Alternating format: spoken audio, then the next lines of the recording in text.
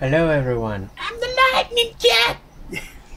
All right, here. Um, in addition to what I said in my previous video about uh, colony survival, uh, the crouch button needs to be enhanced with a toggle option.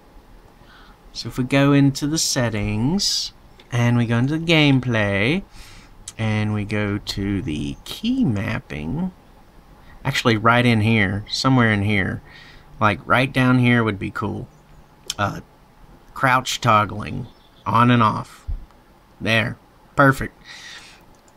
Because it's already, uh, let's see.